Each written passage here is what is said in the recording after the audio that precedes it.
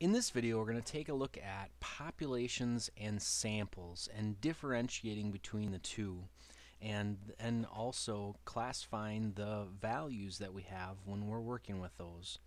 First of all, to differentiate a population versus a sample, a population is all of the um, data from a particular group or all the members of a particular group. Often we think about people, but it could be lots of different things. A sample is just some of those uh, people or uh, animals or products or whatever. Okay, so population is all, it's everything. A sample is some. When we have values that we're working with that are coming from either of these groups, if it's a population, we call those values parameters. It's a parameter if it's coming from a population. If it's coming from a sample, we call it a statistic. Now, I want you to notice something here, and uh, this might be kind of helpful. So, do you see the S's? A sample is some, and it the numbers are called statistics. Population is all. I wish I could think of a P word that would be all. Throw one in the comments if you can think of one. Uh, population is all, and a parameter is what we call the numbers coming out of there. So the differences between the two. Now, we can't always ask or get data from an entire population. That would be very difficult depending on the size of your population and so we have to rely on samples much of the time. In order for data to be uh, and conclusions to be valid from uh, data that we get from a sample, that sample must represent the overall population that you're trying to work with. So it's important that we can differentiate between the two and know, okay, so I'm working with a sample, this needs to represent the population as an example, let's say we were dealing with the population of the world. Okay, that's a huge population. It would be impossible to take a census to get the data from every single person. So we can use a sample. Now, if we were to just choose, let's say, a hundred men from California, could that really would that really be a good representation of the population? Obviously not, because there's a lot more than just men in the world, and they live in lots of different places other than just California. So it's extremely important that we pay close attention to our sample and make sure that it represents the overall population.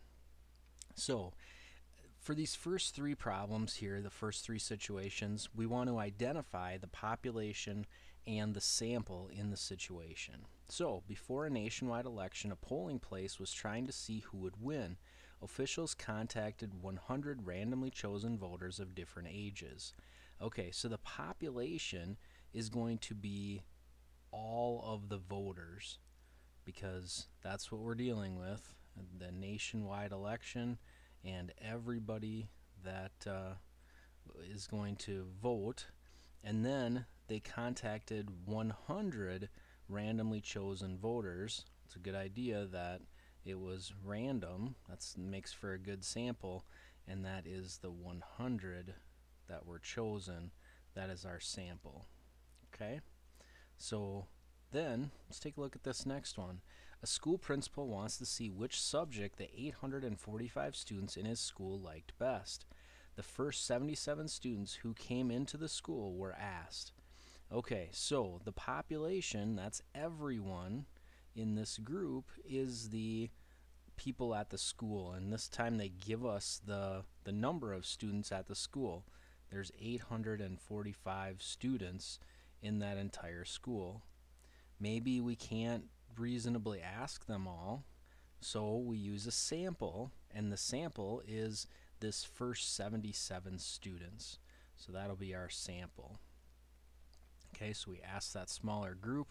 Hopefully, they represent the all of the students that are at that school. Last one here, a musician wanted to see what people who bought his last album thought about the songs. A selection of 7,750 people who bought the album were surveyed.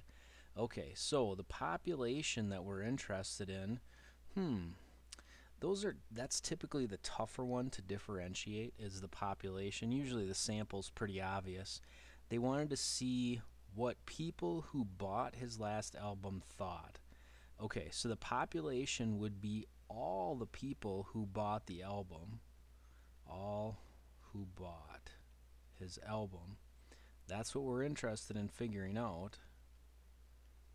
And so to determine that, we're going to look at a sample of 7,750 people who bought the album.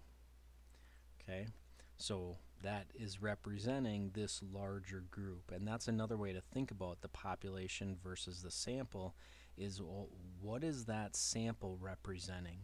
Who's the bigger group that we're trying to come up with some information about um, to to discover uh, what's going on in the situation. Okay, then let's take a look at a couple other situations and let's differentiate to determine are these numbers parameters or these statistics?